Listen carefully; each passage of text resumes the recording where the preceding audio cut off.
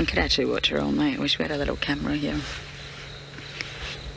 But on that note, everyone, it has come to the end of an interesting sunset safari. At least we had a Puzo stop. That's one good thing.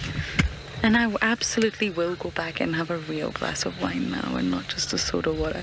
But once again, a big thank you to everyone for making this journey. It's been the most wonderful journey for me. I'm not going to get emotional because I am an emotional human, so we are going to go back and enjoy looking at Twiglet. And who knows what's going to happen in 2022, really for 2021. I do just want to say a big thank you. Some of you are incredible, and I hope one day I meet you in person. You've given me lots of chuckles, lots of conversations, lots of just banter and joy and kindness.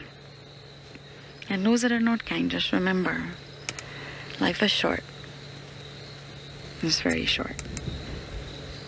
And just keep an eye on all the characters for me Twiglet, Djuma Clan, Tlalamba, all the leopards, the Nkuhuma cubs.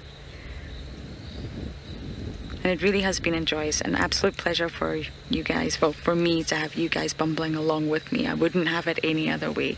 So from all the team, including Ali, Owen, Darren and myself, and all the team in FC, a big thank you for jumping on board as you always do.